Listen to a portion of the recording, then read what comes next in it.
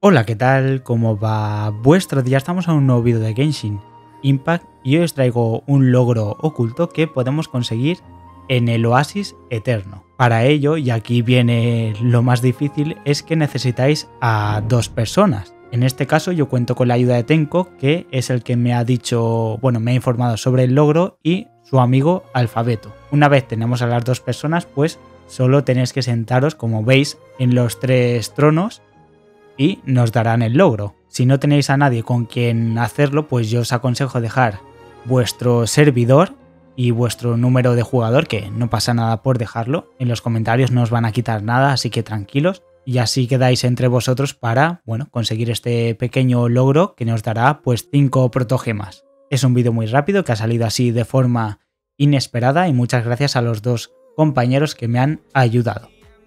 Así que nada, si os ha servido dejad vuestro me gusta, vuestro comentario, compartid el vídeo, suscribiros y esto es todo por hoy. Por si no nos vemos luego, buenos días, buenas tardes y buenas noches.